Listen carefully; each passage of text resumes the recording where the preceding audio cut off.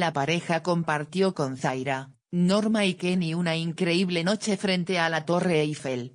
Luego de un año bastante polémico, Wanda Nara y Mauri Icardi se la pasan viajando, más que de costumbre. Y es que la pareja se encuentra en su mejor momento y lo aprovecha al máximo. Ahora, Zaira Nara está de visita y disfrutaron de una noche exclusiva a puro glamour. El 14 de julio es un día muy importante para los franceses, por lo que en este día tan especial se organizan bailes por todas las calles y lanzan fuegos artificiales. Esto se realiza para conmemorar la toma de la Bastilla y la fiesta de la Federación. Por supuesto que las hermanas Nara no quisieron quedarse afuera de las celebraciones, por lo que asistieron a una noche en uno de los restaurantes más exclusivos de la zona.